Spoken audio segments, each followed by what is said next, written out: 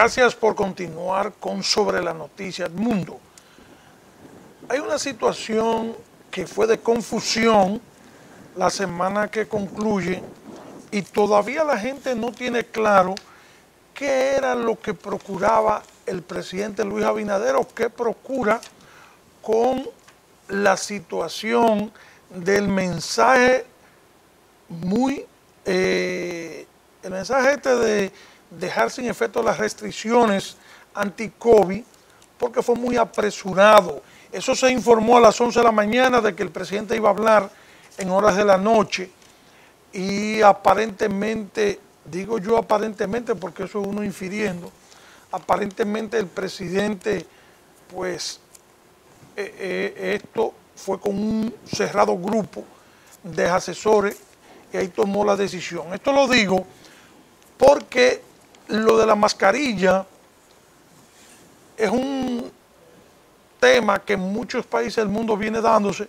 y la República Dominicana, pues yo entiendo que no había por qué no decidir eso, pero la contradicción que se vio luego con el Ministerio de Salud Pública a través de una resolución, la palabra es, no es como lo voy a decir, enmendando al presidente no es porque no puede ser, pero cuando el presidente toma una decisión, dice, se dejó sin efecto toda la medida eh, restrictiva, incluía eso de la mascarilla, pero también incluía el que ya se puede hacer fiestas, se puede hacer actos multitudinarios y ya no hay que guardar ningún distanciamiento, solo, solo que el horario de expendio de bebidas alcohólicas eso no tiene que ver con eso porque eso está consagrado o está estipulado en un decreto, el 308-06, eh, que ese decreto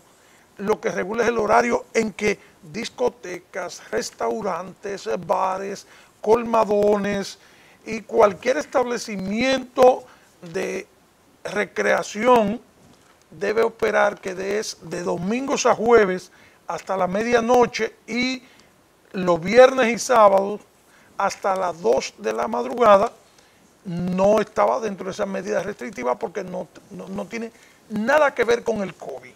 Entonces, el que salud pública se destapara el viernes en la mañanita con una resolución, la 0008-2002, disponiendo de rigor. 2022. 2022 disponiendo que es de rigor, que lo mismo es obligatorio, el uso de mascarilla en los centros de salud, tanto públicos como privados, al igual que en el sistema de transporte público de pasajeros. Es decir, es obligatorio llevar mascarilla en el metro, en el teleférico, en los autobuses de la ONSA, en los autobuses privados y hasta en los carritos La verdad es que yo no entiendo qué fue lo que pasó. No entiendo qué fue lo que pasó. El presidente hace una locución para toda la población dominicana y al otro día el ministro de Salud Pública desdice lo que dijo el presidente. La verdad es que eso denota una falta de comunicación, una falta de autoridad y una gran improvisación. Porque lo primero es que cuando yo oí esa declaración, pensé inmediatamente. Y lo digo porque tengo que decir y reconocer que el Ministerio de Salud, el Gabinete de Salud, ha tratado bien el tema de la pandemia.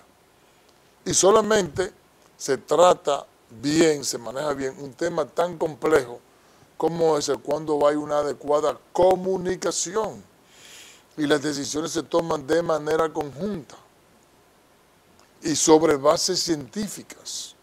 Entonces yo interpreté cuando escuché al presidente de la República que él se había reunido con el gabinete de salud, con sus asesores en materia de salud y habían determinado que ya era factible, tomando en cuenta que hay una disminución de todos los índices que tienen que ver con el tema del COVID, la cantidad de muertes, de contagios de internos, de camas UCI, todas las variables que se están manejando para determinar el comportamiento del COVID vienen en franca disminución.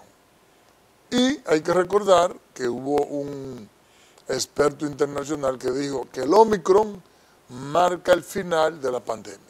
Entonces, tomando en cuenta todo ese panorama, todas esas informaciones, pues yo interpreté que esa decisión se había tomado de manera conjunta con el Gabinete de Salud y que en consecuencia cualquier declaración que diese el Ministerio de Salud, la vicepresidenta, el, el ministro, etcétera, etcétera, todos iban a tener un discurso que guardara correspondencia con el presidente de la República.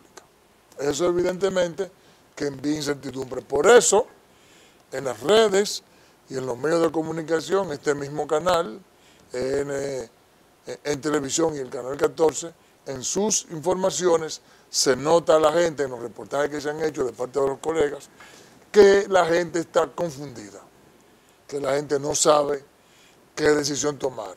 Ahora, hay que decir lo siguiente, aquí la gente es difícil, porque mira, la gente no quería usar mascarilla, pero ahora, después que el presidente dijo que no se, no se debe, no es necesario, entonces todo el mundo la usa.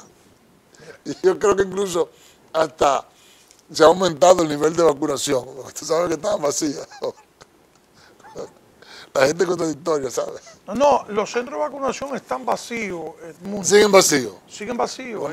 Y, no va a lograr el gobierno aumentar significativamente más de lo que está. 5.800.000 dominicanos completamente vacunados, pero de las tres dosis, la tercera dosis solo 2 millones y algo, y con dos dosis, eh, esa parte que decía de 5 millones 800 mil.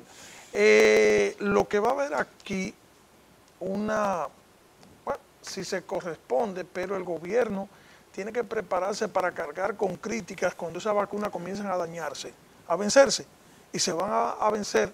Bueno, el país dice que tiene unos 15 millones de vacunas, y cuando comiencen a vencerse... Se van a vencer. porque la gente ¿Porque a quién se la van a poner? La gente no se la quiere poner. Y no que la regalen. Pero no han hecho la gestión de venderse. No fue a, a, Costa Rica que les regalamos. A muchísimos países, Guatemala, Costa Rica. Bueno, para que se pierdan, que se regalen. Haití fue que, no quiso que les regalaran. Y que se vea como una actitud diplomática, ¿verdad? Que no, no queda mal. Para que se pierdan, que se regalen a, países hermanos. Ahora, el mundo... Ahora, desde el punto de vista económico, para nosotros es duro. Claro. claro. Eh, el mundo, amigos y amigas que nos están viendo, decir algo el presidente de la República, todavía uno no sabe qué procuraba el presidente con ese eh, mensaje, eh, si se quiere apresurado. Dice uno apresurado porque eso lo hicieron a las once y pico de la mañana, fue que difundieron el vocero de la presidencia, Homero Figueroa, difundió que el presidente iba a dirigirse a las 8 de la noche al país del miércoles. Pero el miércoles en la mañana, oye, por pregunta de este canal, EN Televisión, al Ministerio de Educación se le preguntó al viceministro Pérez y al director de epidemiología si con que vencían el 28, vencía la jornada de vacunación de la tercera dosis para que la presentaran la tarjeta luego a partir del 1 de marzo, dijeron no se ha variado nada, no se va a dar nueva prórroga y se va a exigir.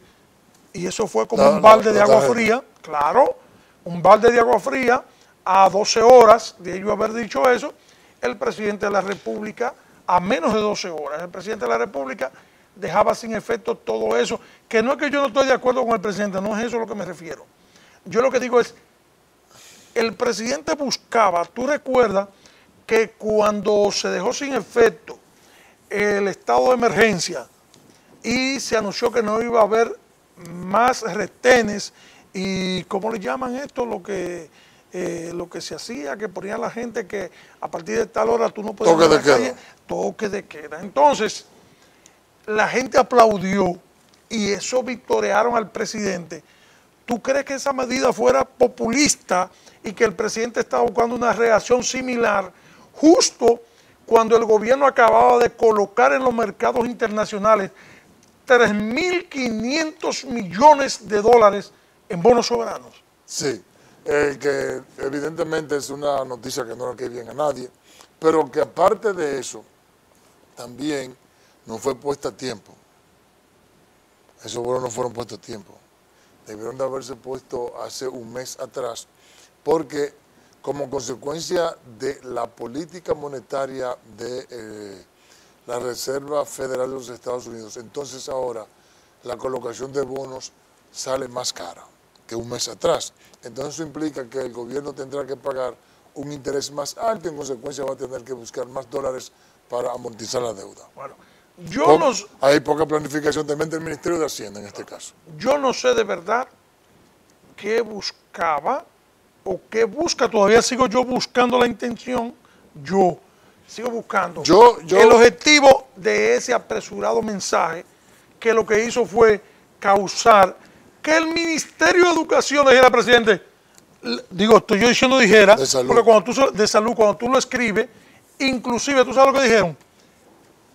En esa resolución, a los ministerios responsables de sectores como educación, mira, ya se produjo educación, educación llamó, porque estaba compelido a llamar hoy el Ministerio de Educación Superior, Ciencia y Tecnología, llamó a las universidades a regreso de la educación presencial. Así es. Claro, porque tenía que dar, ahora tienen que dar, reforzar esa decisión del presidente y que el presidente no se vea como que hizo algo que no estaba planificado o que no se tomó en consonancia con lo que tienen que ver. Yo creo que el presidente quería dar un toque de efecto para mejorar su popularidad, la del gobierno y la del que aparentemente por una encuesta que salió supuestamente en esta semana, ha bajado. Ha bajado la popularidad del gobierno. ¿Tú crees que es verdad que el presidente tenga 37? Ha bajado la no, Bueno, la última, la que yo vi, un 40 que tiene. No un 37, un 40. De eso lo, voy a, lo, vamos a hablar ahorita. Quiero rápidamente decir una lectura también que yo tengo de, por qué. Yo creo que él quería mejorar su popularidad, pero también quería desarticular la manifestación que anunciaron los antivacunas. Recuérdate lo que se manifestaron hace como tres semanas en el Parque Independencia y que anunciaron que el 27 de febrero iban a hacer otra vigilia de protesta al frente del Congreso Nacional. Bueno, al, presidente decir que ya no, es no son obligatorias ninguna de las medidas protocolares para el COVID-19, incluyendo la vacunación, entonces ya no tiene razón de ser que ellos vayan allá porque ya el presidente ostemperó, como quien dice, al llamado de ellos. Le desmontó eso. Le desmontó eso. Bueno, pues ya usted sabe, la responsabilidad ahora, como lo dijo el presidente, es personal.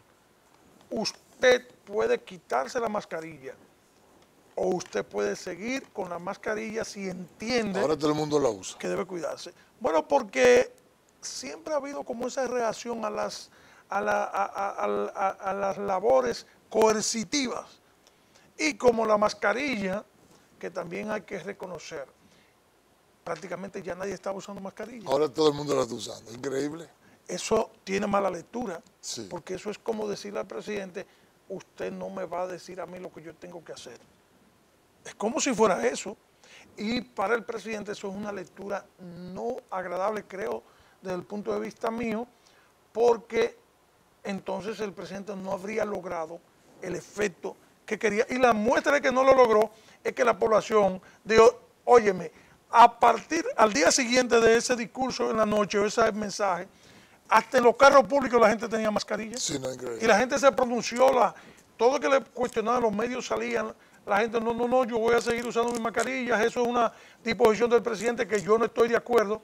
Y además advertían la contradicción del presidente y el Ministerio Eso fue lo que más daño le hizo. de Salud Pública. Así que vámonos a la pausa y regresamos en breve.